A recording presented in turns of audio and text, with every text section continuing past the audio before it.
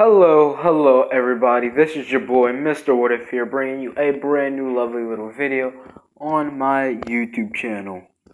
And today is going to be another part to What If Deku was a Joestar, aka What If Deku had a stand. So, in this part I will be covering the students versus students and part 1 of the USJ attack. So, but we're gonna recap off of last part of the last of the ending for last part. So, in the last part, we ended off with every with Kid, Lee, Neo, and Joey going back to the manor where you, where um you and Trevor are waiting. So when they get back to the manor, you talks about you talks about um how they're gonna be going on a mission in a few, in a few in a few weeks. So until then, everybody just train and rest up because we're gonna be going on a mission. So we're gonna time skip to the next day where Leo and Izuku are in class 1A. So as Le- so as Azuku and Leo go to class 1A, they get bum rushed by they get bum rushed by basically well, Azuku gets bum rushed by the girls in class 1A, asking him about his stand and as the girls are trying to, you know, you know, talk to Deku about like, like what is the stand capable of? Yeah, what can the stand really do? And then Zuku is just trying to calm down and ask some questions. And this is when Leo would grab Zuku and say, Wow, you didn't tell me on your first day that, you know, you got a whole bunch of girls after you, man. And then, and then Izuku be like, not funny, Leo. And then Leo be like, but that one right there is kind of cute. And then Izuku says, who?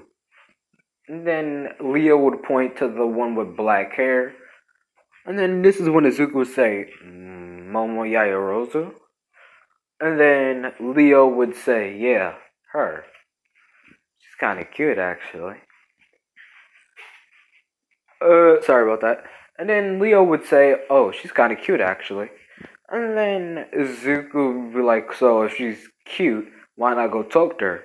And then Leo would be like, come on now. Um, I'm, I'm, I'm that type of guy, but I ain't that type of guy. If you know what I mean. And Zuko was like, right, right. Let's just get to class. And then Leo would be like, alright. And then as they're walking to class, Leo is just talking to Izuku about like what do you think they're they're gonna be learning today? And then Izuku like, Well, I don't know, we just have to stay prepared, I guess. And soon as they get into class and as and after a few minutes they get into class, they end up after the few minutes get in the class, All Might ends up bursting through the door. Bursting through the door, All Might yells out, I am entering a door like a normal person. And this is when everybody would be in shock to see All Might. The only person that really wouldn't be in shock, but would still be surprised, would be Zuku, but he wouldn't be in shock like fanboying, like being like a big fan like everybody else is. And then this is when Leo would see Zuku not really paying much attention to what All Might is saying and what they're going to be doing. So Leo decides to pull out a straw that he had from this morning when they ate breakfast. And then he has some piece of paper and then he takes a piece of paper and put his and then and then he does a little if you have never done this before if you're bored in school and the teacher's talking too much and not paying attention, this would be a fun way to pass the time. Um, spitball is when you have a straw. When you take a straw that you have, you gotta like take a straw from cafeteria or something, or just have a straw. Crumble up paper, put it in your mouth, make sure that it's wet and moist with extra saliva on it, and then you shoot out the little paper ball through the straw and try to get it to stick onto somebody. Stick onto like it will hit somebody, and then the worst part about it is that once it stick onto somebody, it's onto somebody with the saliva, and it kind of sting. It doesn't sting, but you do feel it, like something just like hits you, and it's a good way to mess with your friends if you're bored in class. So that's what Leo is doing. And yes, I have done that to my friends plethora of times. Like, come on, why wouldn't I? I'm sitting in class bored, and the teacher's not paying out one attention. think I ain't gonna do that? But yeah, it's disgusting, but it's a good way to mess with your friends. But yeah.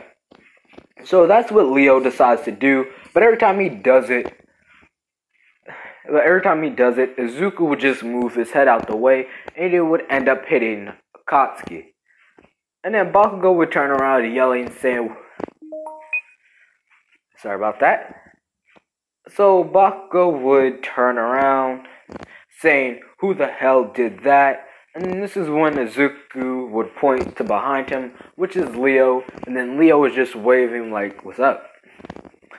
and then Bakugo gets out of his seat, starts yelling, and then All Might has to calm him down. And then Bakugo looks at Leo and says, You're not getting away with that, you bastard. And then Leo was like, Whoa, whoa, man, chill. Like, chill, man. Just a game, dude. Chill, dude. Just a game, dude. You ain't gotta be all mad. And then Bakugo just scoffs off. And then Izuku says, For some reason, I feel like me and him were supposed to meet up. But hey, I guess guess not. World has a work of world is full of mystery places and wonders.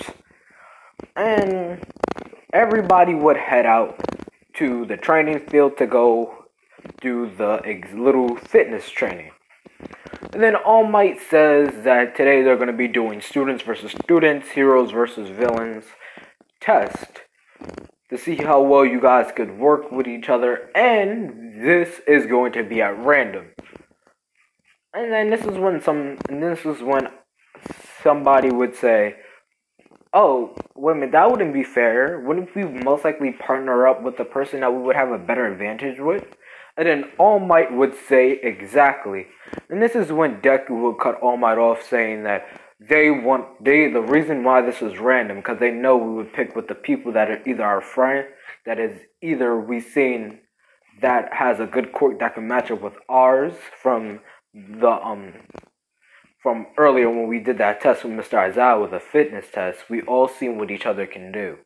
And we would almost likely pair up with somebody we would have a better chance with. They're pairing us up random, so they could put us with with literally anybody. Like you, Tokoyami, right? And then Tokoyami be like, yeah. So if they put you up with, I don't know, Bakugo over there, you two would have kind of a lesser chance because if you two are fighting together, didn't you tell me that your dark shadow is weak against light? And since his explosion provided off a big burst of light energy, somewhat of it due to its explosion and bright coloring, it would weaken your dark shadow, so that wouldn't really work. So most of us here, we have good. You guys have good quirks, but some might not pair up with each other. Some might actually cancel out each other. So you're seeing if that is the case or isn't the case, or if we can find a way around it. This is when All Might will be impressed and say correct. And this is when Leo would whisper to Deck to Izuku saying show off. And then Izuku would just smirk. And then All Might will pull out two two plastic balls. And then he says Group A, Izuku, Joe, Joey, Izuku, Joestar, and and Tokoyami, Dark Shadow. versus versus Kaminari, Denki, and Leo Zeppeli. And then Leo and Izuku look at each other and say, Well, that was kind of decisive. So we would so villain team is going to be Zuku and Tokoyami, hero team Denki and Zeppeli. And then this is when we would see Zuku and Tokoyami walk into the building where the bomb is and stand there to guard it. And this is when Tokoyami and Izuku will start conversating on what they can do. And Izuku mentions that Tokoyami's quirk is kind of like, is actually kind of like a stand, to be honest with you. Is kind of like a stand. And this is when Tokoyami would say that mine is actually a hybrid. It acts and functions like a quirk, but it works somewhat like a stand. And then he said, What do you mean? He says, My dark shadow at nighttime, it becomes completely berserk and crazy powerful. And I really can't control it at all. That's only when I use it at night. When I use it at night and I let it go all out, it becomes completely powerful. And it and it can also manipulate shadows, creating like shadow like mm-hmm. beings and monsters at night. And yeah, I'm making Tokoyami kind of OP in this because his quirk is not just going to be a quirk. It's going to be the fusion between a stand and a quirk. It's going to have the stand abilities, but act and function as a quirk, just like Izuku's. So yeah. And comment down below if you want Tokoyami to be in the Joestar because I did this. So yeah, to be in the to be in the gang with Joey with Joey and Leo. To be honest with you, I want to put Tokoyami in it because his quirk, since I'm combining it like a quirk in a stand, it would be so good for it. So, yeah. So, please say that you guys want Tokoyami to join the gang. So, yeah.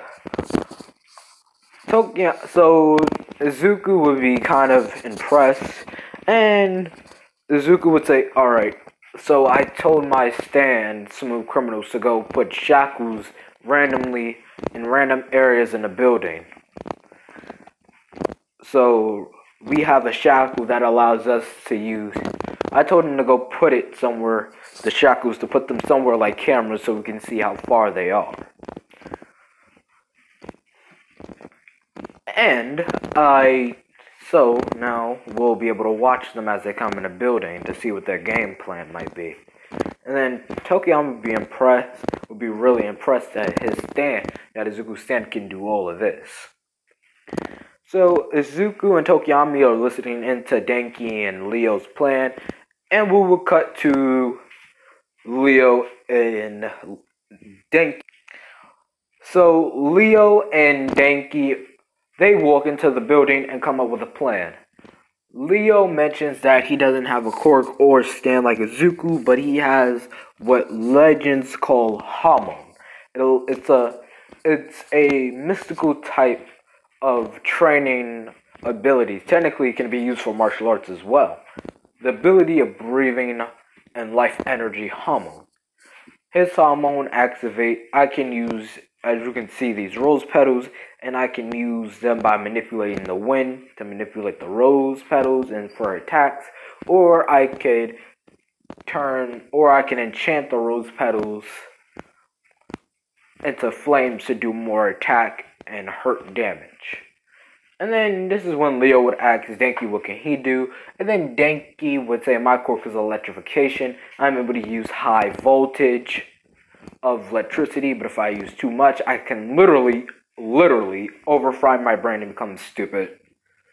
And then Leo starts to giggle a little bit, and then Denki says it's not funny. And then Leo says, You gotta admit, it's a little funny. When you go overkill using your power, you become stupid. That's like a dumb way to be overpowered. And then Denki puts his head down, saying, Yeah, I know.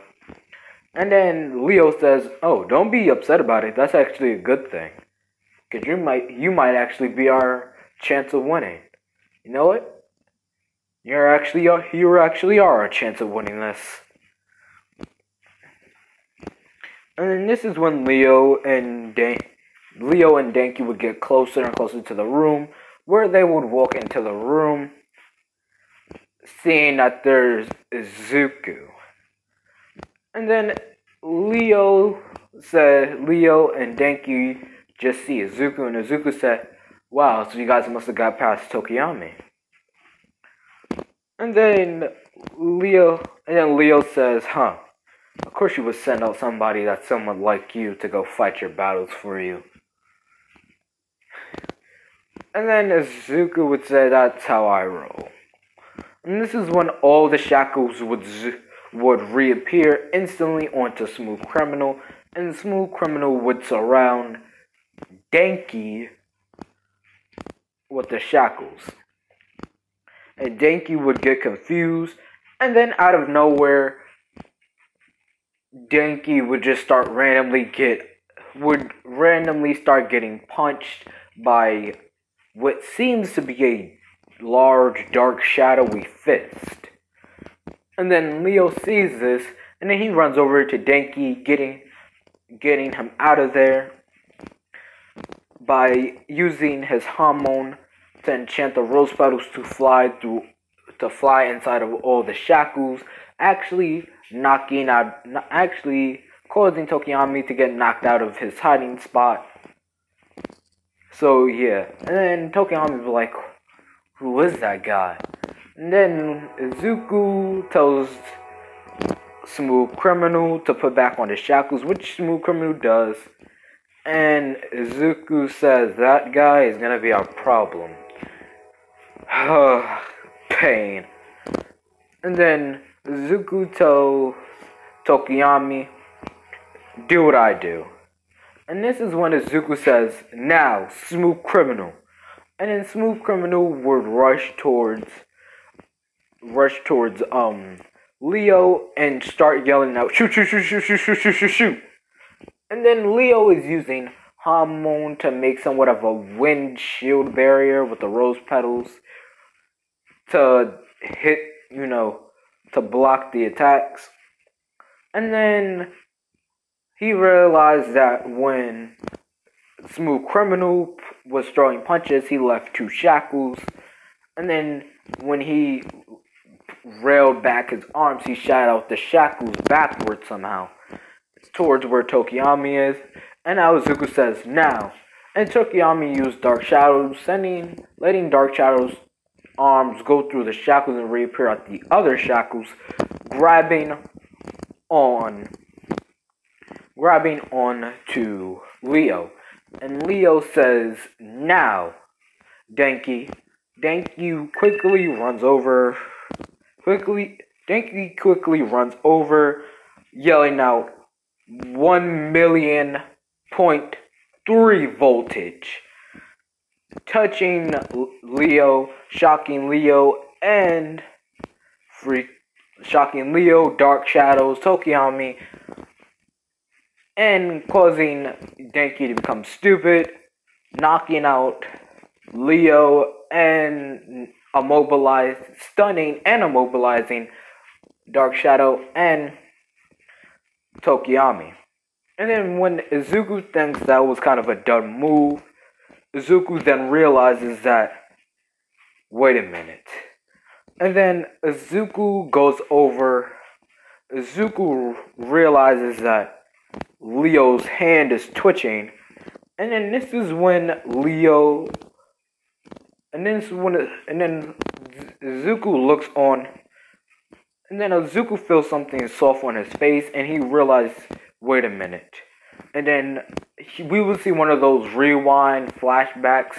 And as um Denki was electrifying um Leo, some of the rose petals follow the electricity into the shackles, and then Zuku gets hit with a pound of pressure of gust of wind and 15 to 28 rose petals plus a whole lot of gust of wind with just a spark of electricity punching, hitting him right in the face, sending him flying, sending him not back into one of the pillars.